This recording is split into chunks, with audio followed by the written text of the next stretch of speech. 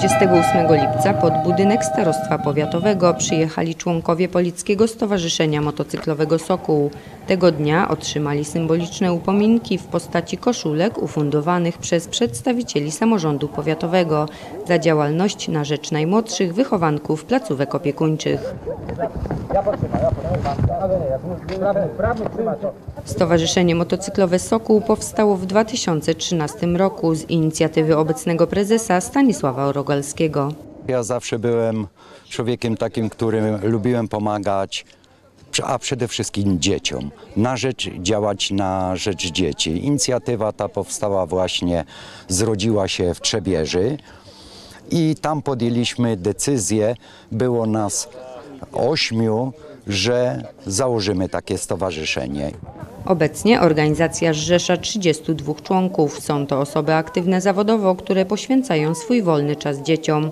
Członkowie stowarzyszenia organizują im wiele imprez tematycznych. Zawsze obdarowują najmłodszych prezentami i spędzają z nimi czas. Z okazji Dnia Dziecka na przykład polickim podopiecznym motocykliści ufundowali sprzęt biwakowy, namioty, śpiwory, karimaty i sprzęt sportowy. Organizujemy sobie e, integracje, różne wyjazdy, aczkolwiek e, z celem nadrzędnym działania stowarzyszenia jest e, pomoc e, dzieciom zarówno z domu dziecka, jak i dzieciom z domu, z tego ośrodka specjalnego tutaj w Policach. Także mamy pod, pod opieką mamy te dwa, że tak powiem, ośrodki. Pomagają, bo mają wielkie serca, poświęcają swój czas, często także własne pieniądze. Ich działalność wspierają lokalne firmy, dzięki temu sokoły mogą pomóc dzieciom na terenie całego powiatu.